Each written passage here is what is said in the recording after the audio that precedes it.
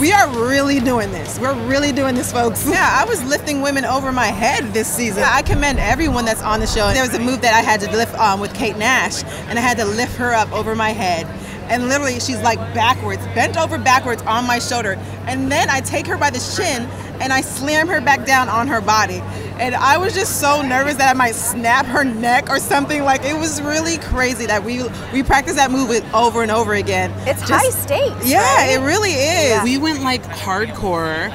Basically, realized we had no ring rust. We were like back in it, um, and we kind of came in with more moves, and we're like, we want to do this, we want to try that. Um, so yeah, it's it's a great collaborative effort over there. Our stunt coordinator, our wrestling coordinator, they really trust in us to know what our capabilities are and what we can do, and they actually let us try things, which is Yeah. great.